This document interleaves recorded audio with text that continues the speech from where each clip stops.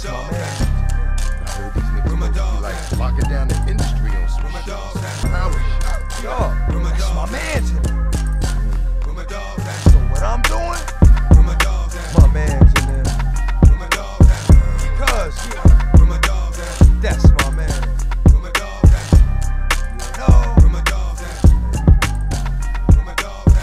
No, you fucking with me.